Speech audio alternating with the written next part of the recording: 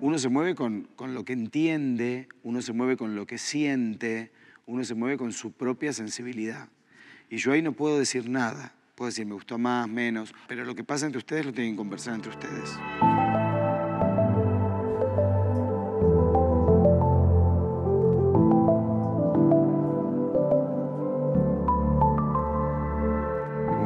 Formados en la danza, otros están más formados en otras cosas. Trabajo con las experiencias que ellos tienen, con lo que hay.